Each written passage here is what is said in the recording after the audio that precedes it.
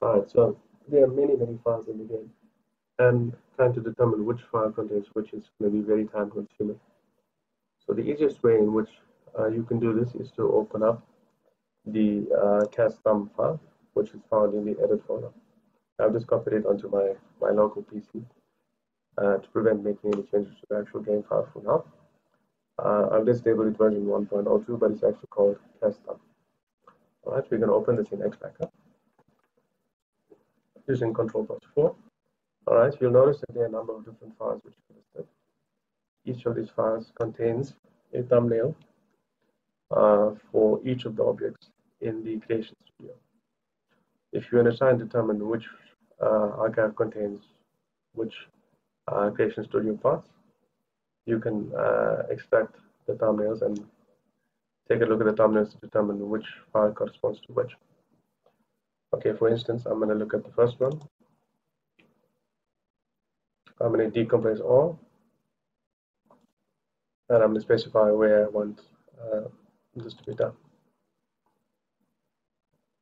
If you look at the files which have been created, there are uh, quite a few BBE files which you can delete.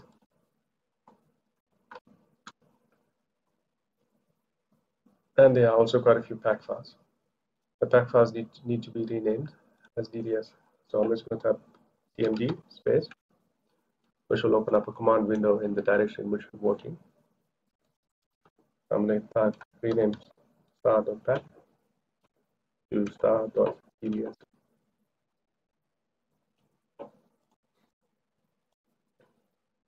Alright, so we can see that these are uh, ARM accessories.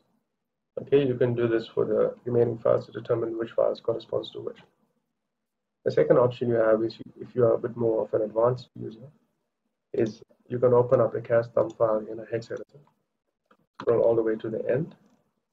Uh, scroll slightly up, and you will notice that there's a zlib file listed at the end. Okay, you can copy the zlib file into a new file.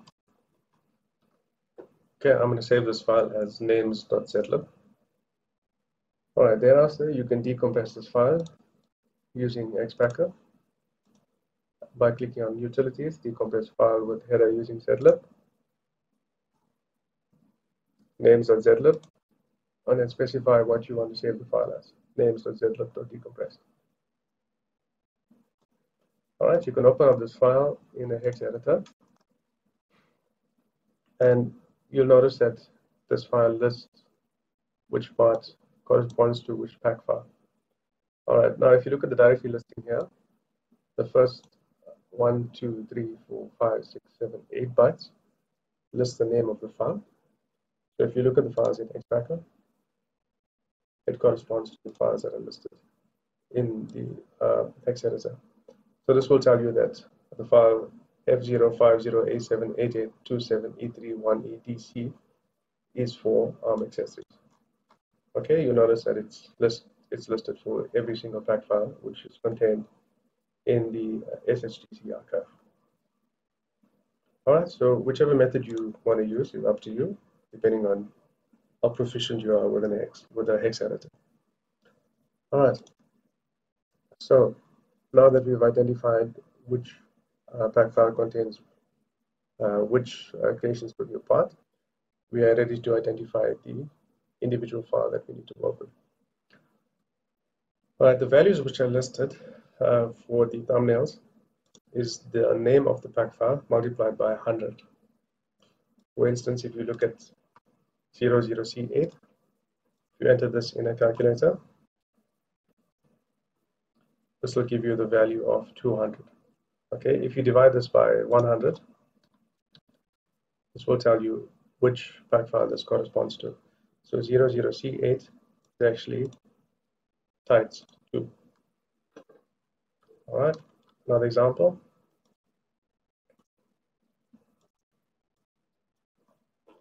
A 8C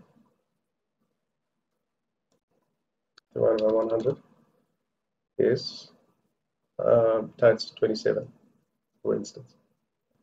This will help you identify which pack file corresponds to which item in the Creation Studio. Uh, now that we've determined which pack file we want to work with, um, we can start editing the textures in this file. For this example, I'm going to be using tights 462, which I've copied onto my machine. I will open this file using Control plus 4.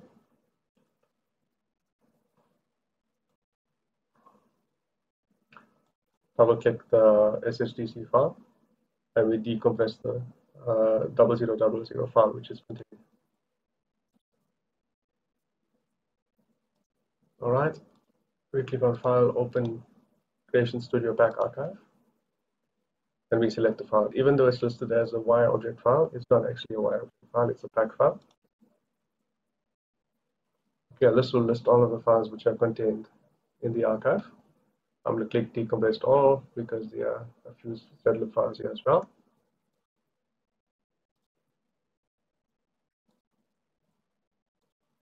All right, so for this example, we're going to be working with textures only. You'll notice that there are four texture files uh, which are extracted. Now, in order to work with the uh, the tights DDS texture file, which is basically how the object will appear in the Creation Studio mode, you need to have the uh, Intel DDS plugin installed for Photoshop. The reason for this is because the format of this uh, uh DDS file is DXT10, which the NVIDIA uh, DDS um, plugin cannot uh, work with. The other files are DXT1, and um, these can be opened by the NVIDIA plugin. All right, so I'm going to double click this file uh, because I have the, uh, the Intel plugin installed, it is able to open the DXT10 file. The, the plugin asks you if you want to load the transparency as an alpha channel. You select this and click OK. All right. Now this is the DXT10 file. So you can make whatever changes you want to this file. Uh, and this will control how the object will appear in the Creation Studio. All right, I'm going to file save and you need to ensure that you have the Intel Texture Works uh, DDS option selected. Select types. Okay, so these are the settings that you need to have enabled uh, in order to replicate the format which is uh, required for the game. So color plus alpha, you need to save it as DXT10, no mip maps. All right, the second file that uh, I'm going to work with is the uh, masking file. Uh, so ensure that you select low transparency as alpha channel. Okay, so the masking file controls the coloring for each individual layer. So this allows you to specify colors independently of each other in the Creation Studio. So the main color of the tights is stored in the alpha channel. So the area that is white is the area that will be controlled by Creation Studio. Okay, so you can see that all of the logos will not be colored by this layer. If you look at the next layer, it has a few logos which are enabled in white. This has different logos enabled in white. And this has different logos enabled in white. All right, so each of the channels for the red, green, and blue uh, controls the coloring of each of the logos independently. For instance, if you look at the the texture that I've created for uh, Hogan. I've got each of these uh, individual logos in each of the channels. And for the alpha channel, I made the tights white, okay, excluding the logos. All right, so this texture must be saved in a specific format. So we need to click File Save As, then select the NVIDIA plugin,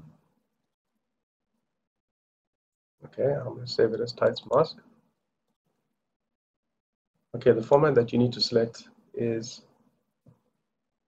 4.4.4.4. Okay, no mip maps, and you hit save.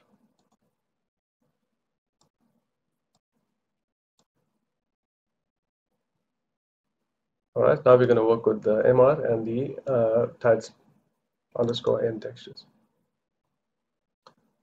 Alright, so these textures are pretty much the same as you uh, same as the textures that you would use for your wrestler mods. Uh, the format of both these textures is um, DDS, DXT1, normal maps. Uh, the same for the tights underscore n. All right, once you are happy with the changes that you've made, you can inject these back uh, into the relevant slots in X-Packer. Uh, and once you're happy with injecting all of the textures, you can inject this back uh, into the uh, tights archive. If you're going to try and inject into the SHDC file, which is provided with the um, Creation Studio object, you find that uh, you get an error. So you're going to create a new pack archive using Control plus P. We select uh, the file that we just worked with, and we say create pack archive.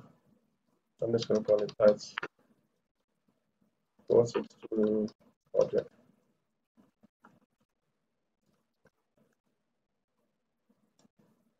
All right, then I'm going to open up the uh, archive and I'm going to inject the one we just created. All right, so you copy this back into the game and uh, this will implement the changes that you've just made. If you want to create a thumbnail for your new object in Creation Studio, you need to uh, replace the thumbnail with the correct ID, uh, which corresponds to the Creation Studio part that you've just worked with. This file needs to be saved as dxt1 with normal text.